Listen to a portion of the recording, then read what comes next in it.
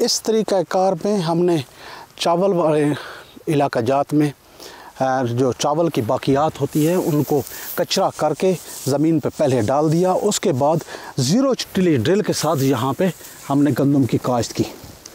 इसका जो बाकियात को इस तरह करने का फ़ायदा ये है कि ज़मीन को कवर रखती है। ज़मीन का टेम्परेचर नॉर्मल रहता है और इसके अलावा ज़मीन के अंदर जो सैल मॉइस्चर है, वो भी काफ़ी अर्सा तक हम कायम दायम रख सकते हैं। इससे हम अपने पानी की सेविंग भी कर सकते हैं और इसके गलने सड़ने के बाद ये हमारे ज़मीन का हिस्सा बन जाती है।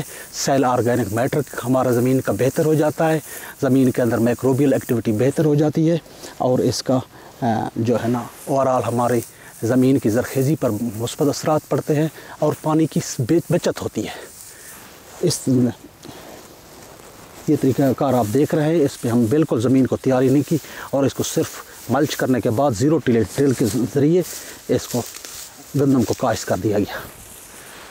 तो इस तरीके कार को हम सोच रहे हैं, क्योंकि काफ़ी एरियाज़ के अंदर, हमारे पाकिस्तान के अंदर चावल काश होता है।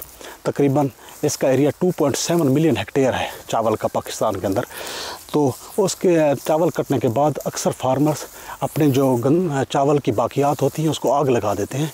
तो ना तो ज़मीन के लिए बेहतर है, ना हमारे एनवायरनमेंट के लिए बेहतर है। वो पोलूशन क्रिएट करता है समाग का बैस बनता है। तो इसलिए ज़रूरी है कि हम इन जो चावल के बाकियात हों, उसको छोटे छोटे हिस्से बकरे करके, काट के, उसको ज़मीन पर डाल दें।